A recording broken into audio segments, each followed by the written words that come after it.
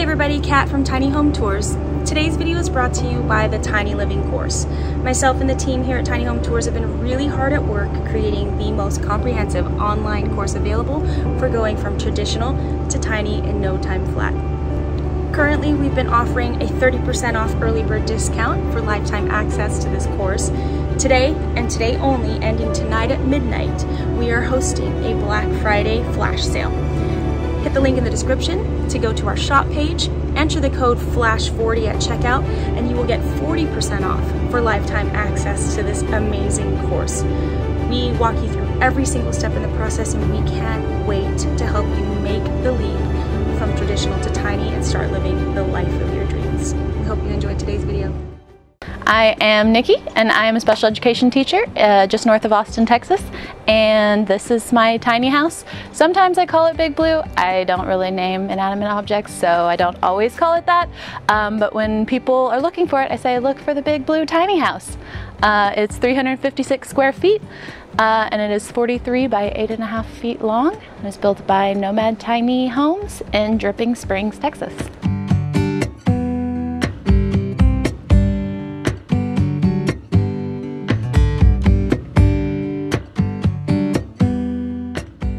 Welcome inside. This is my kitchen and starting here, I have a gas range, which I love. I'm super stoked with, and a vent hood.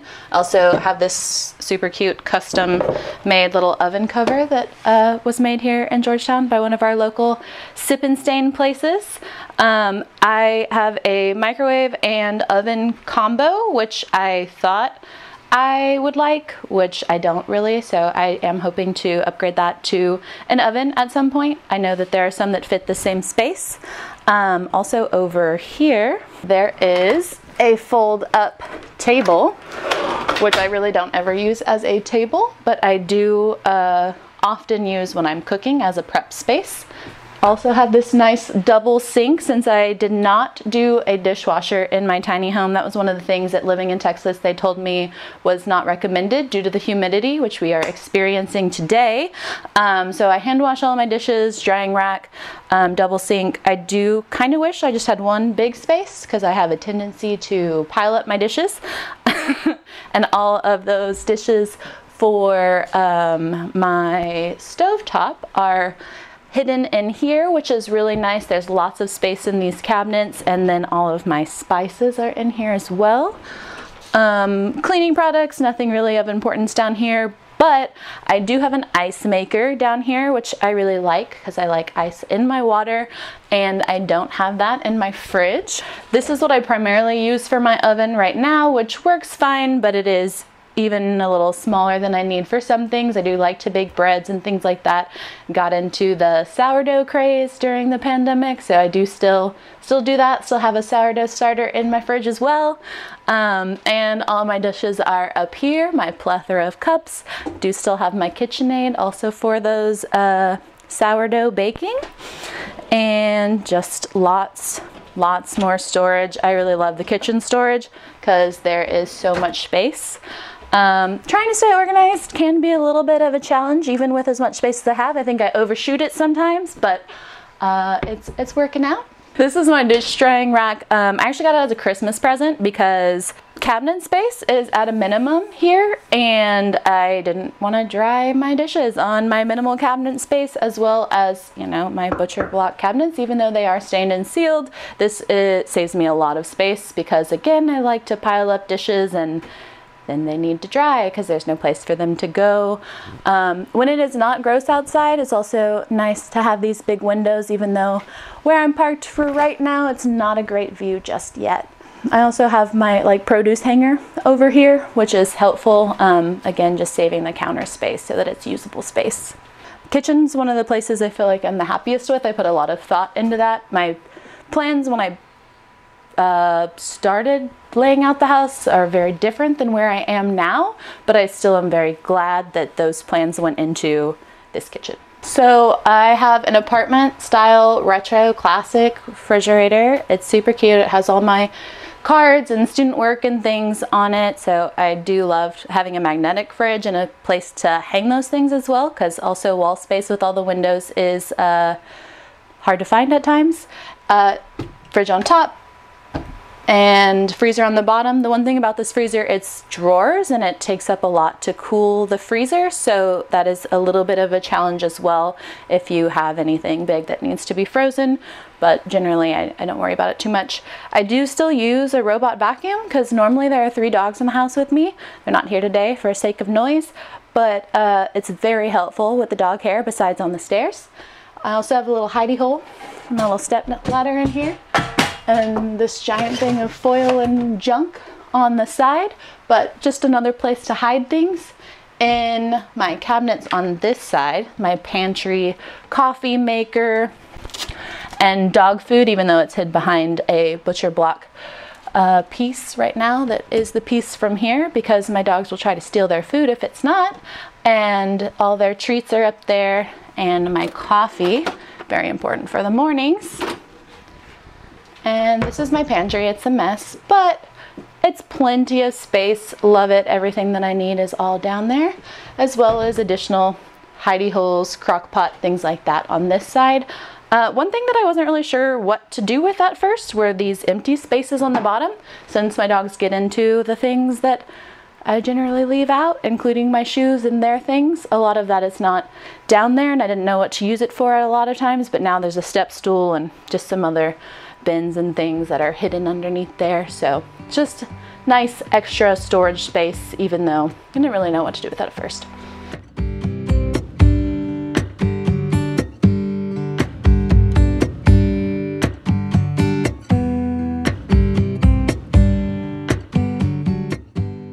I think a lot of things went into me wanting to go tiny, some of them being just general dissatisfaction with uh, mortgage lending. I lived in a traditional home, owned a home that was about five times the size of this uh, before this.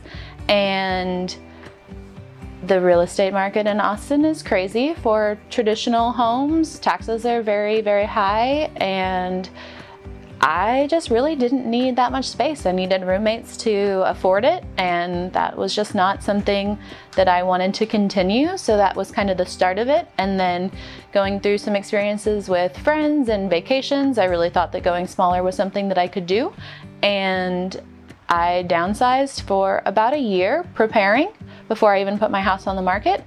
And this is this is where I where I ended up. I also at the time was transitioning more into a like holistic lifestyle, using more natural products, eating uh, better generally, spending more time outside, and this was another way to kind of meet those goals as well. So just living more naturally, living with less things, living a more minimalist lifestyle, wanting to be outside and spending time with people and doing things that I enjoyed rather than focusing on things. Transitioning from the big house into the little house, I think was somewhat easy for me because I planned it so far in advance. Um, I think I spent a lot of time really intentionally going through my things over a long period of time of about a year to be comfortable moving into a small space and not feeling like I was just having to get rid of things right there in that moment after making that decision and then potentially feeling the anxiety of, oh my goodness, this is not what I thought I was getting myself into. Just being really intentional in that way, I think helped me transition a lot.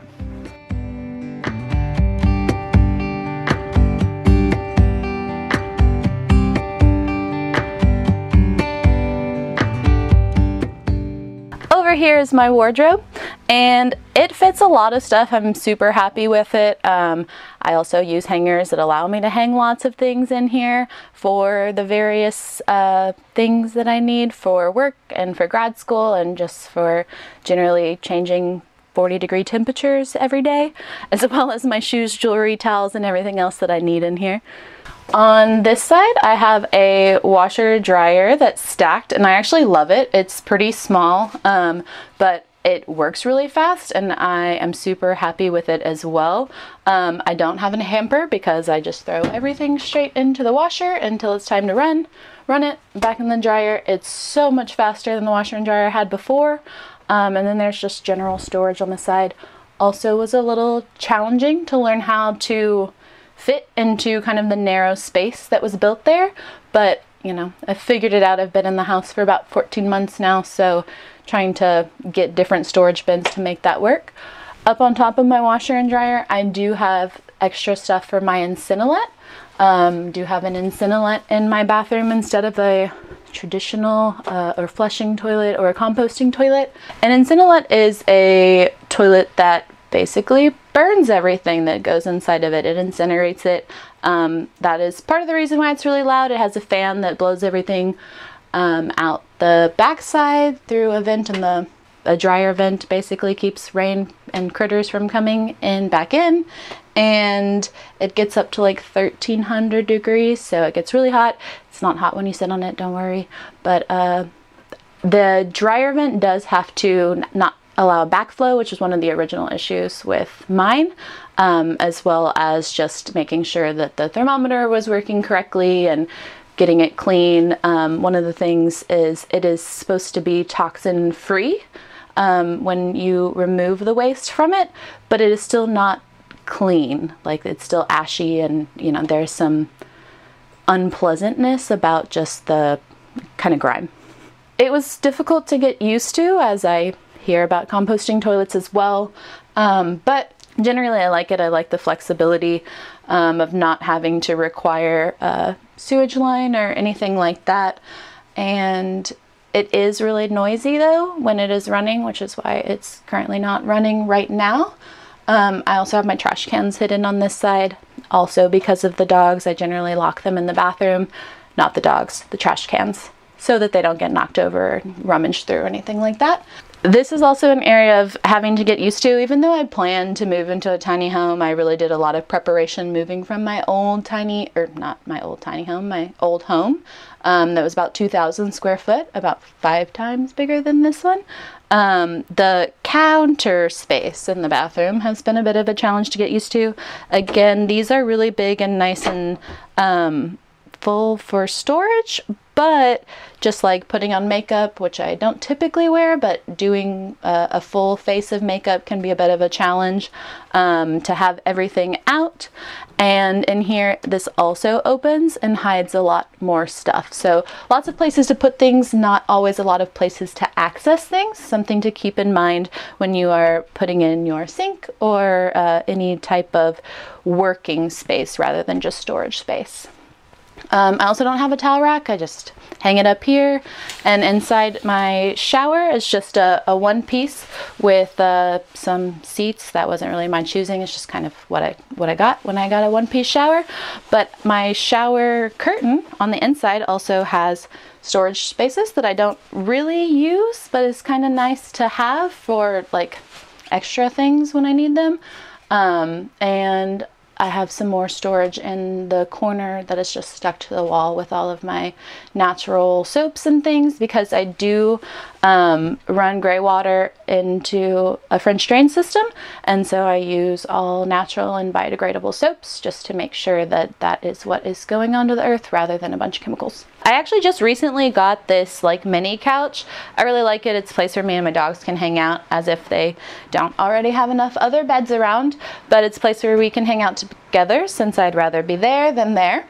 And um, also nice big window in the back. I can drop these down on my doors and use this as a white screen for my projector that's up in one of my rooms right now. Sometimes I bring it down. We have a little movie night down here. Um, also, I have obviously a lot of plants and green space to not just be white, blue, and black in here. Um, and I really, really have gotten into that during the pandemic as well. It just makes the space feel even brighter and lighter for me. Um, I do have a Pioneer mini split inverter, so it was also something that took some time to get used to. It is currently very cold in here right now, and it gets very cold, and I also feel like very nice and warm. Finding the middle point can be a little bit of a challenge sometimes. When I set it on auto, it seems to not always know what to do, but when I set it on a temperature, it works very, very well and gets to that temperature very efficiently and effectively. Um, and it's just then having to adjust that if I need to. I also have this really cool fan that I am actually really glad that I have. It helps move air since I only have the one unit. um, in here and it is a little bit of a bigger tiny home, especially how narrow and long it is. The fan helps move air around since it oscillates when it spins and I, I think that makes a big difference, especially for the lofts.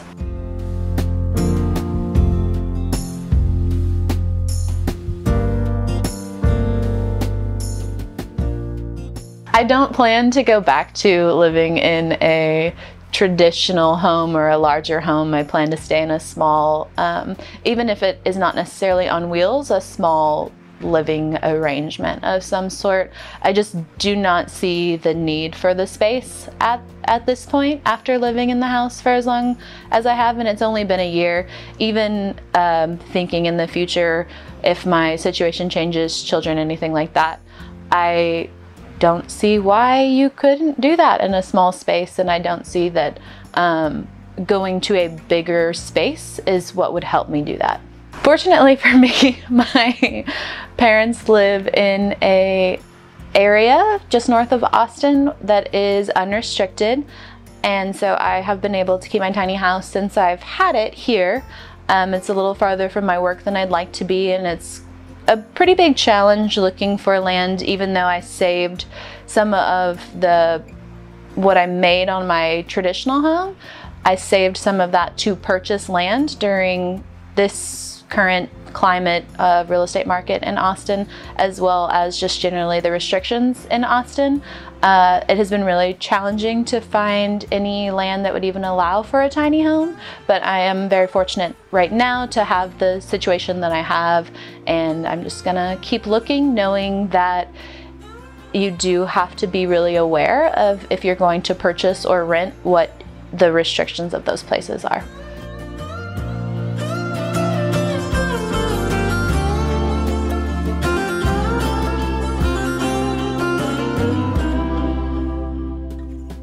So this was originally planned as an office. It's kind of a catch-all space for me right now. Um, there's also a through vent on this side behind the barn doors. Uh, works a lot better when the barn doors are open, but uh, it does pull air from this cooler room through up into these two rooms. And sometimes I work here, but generally a, lot of times it's just a sitting space, a crafting space, a place also to hang out with my dogs since their things are in here. Their doggy door is in here. Um, a lot of times I pull out the table and things when I have guests over. This is an antique from my great aunt. This is why I've kept kind of this very large piece of furniture in a small space. Um, one of the things that is one of my tips, I suppose, is putting things on wheels. This is actually made for washer and dryers and that it's on so it can hold the weight of this table. It's nice to be able to kind of pull it around into where the couch is, into different spaces in this room if the dogs don't need the doggy door.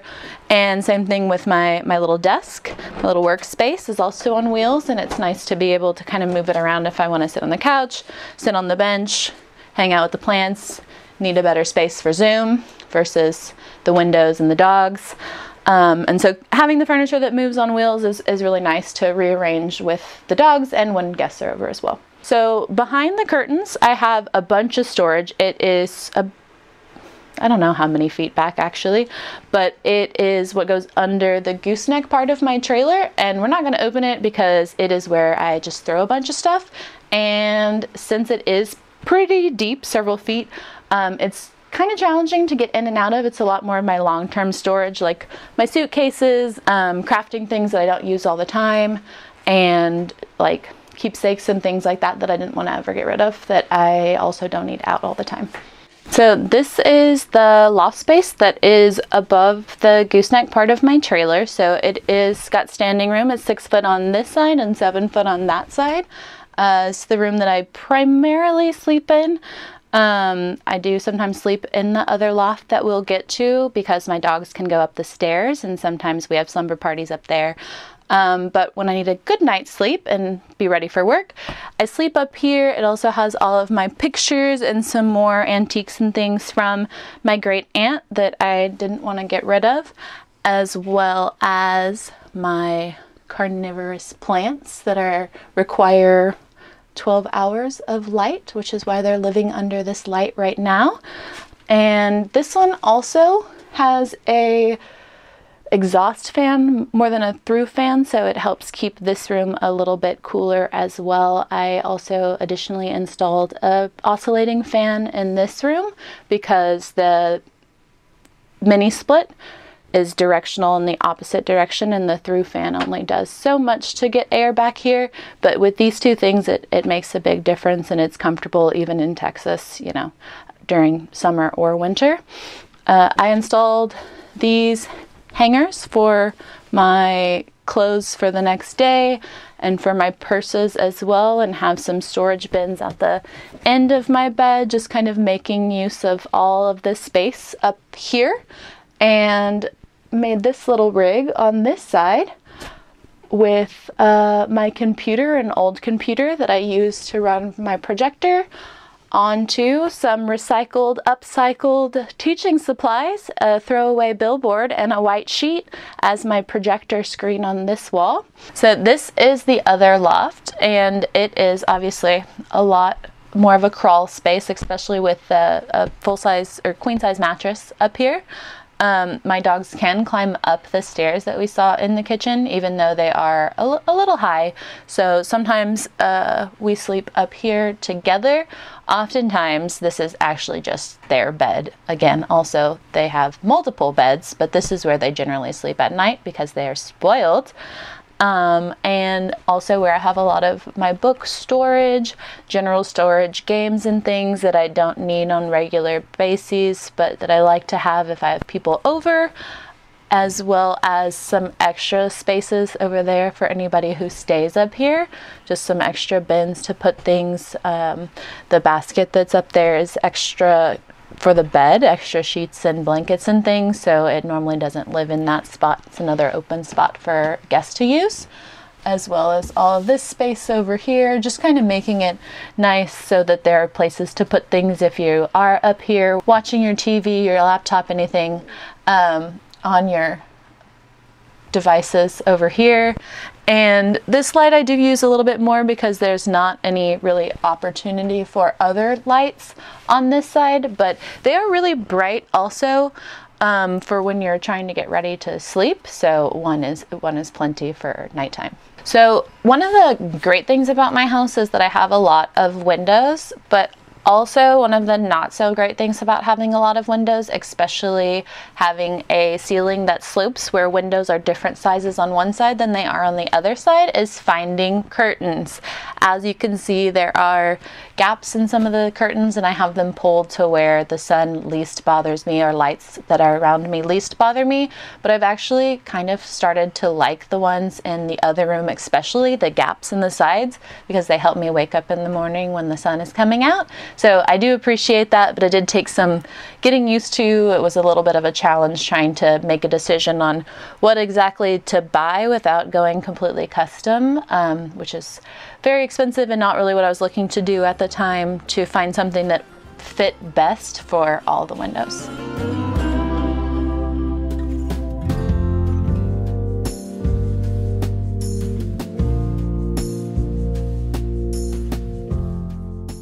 So I am a special educator and that does take a lot of my time. I don't really have any side hustles anymore, just trying to spend more time in this space that I do really enjoy, spending time with my dogs, learning how to cook in my awesome new kitchen that I designed. Um, and I do have an Instagram, Nikki goes tiny and ikki goes tiny on instagram that does just follow new things that i add to the house new plants generally what I'm doing, um, not as specific to the tiny home anymore since starting it, but a good place to check out what's going on. Thanks for checking out my tiny home. I hope you enjoyed it. And if you're thinking about going tiny, I really hope that you think it all the way through, but then go for it because it's pretty awesome.